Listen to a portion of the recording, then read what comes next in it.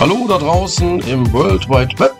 Hier mein erstes Mal. Pfifferlinge mit Spätzle in Rahmsoße.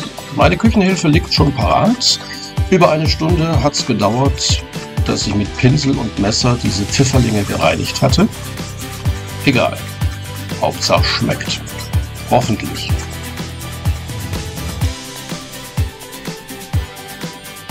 So, fertig geputzt. Hier das Resultat. Alles sauber.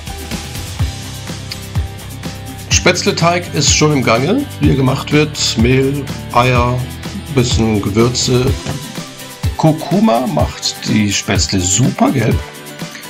Dann ab in die Presse ins heiße Wasser. Und fertig sind die Spätzle.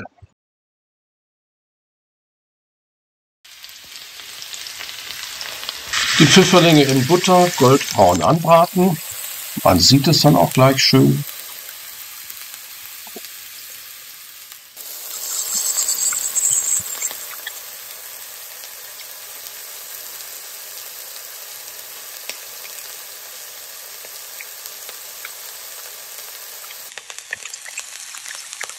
Anschließend zwei Esslöffel Mehl drüber streuen verrühren, Sahne dazu, Salz und Pfeffer und fertig.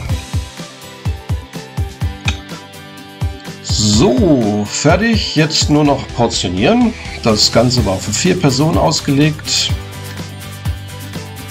Viermal Spätzle. Und dann kommt auch schon die Soße mit den Pfifferlingen. Voila!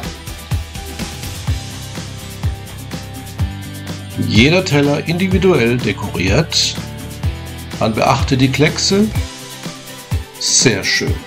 Ein Designerstück nach dem anderen. Ich denke, es hat einen Preis verdient. Was denkt ihr darüber?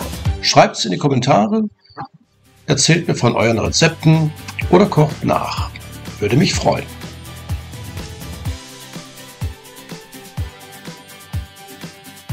Dazu gab es einen grünen Salat mit einer Soße von mir mit Radieschen, Zwiebeln, Tomaten, Paprika, Essigöl und diverse Gewürze. Lecker war's. Ich wünsche euch einen guten Appetit.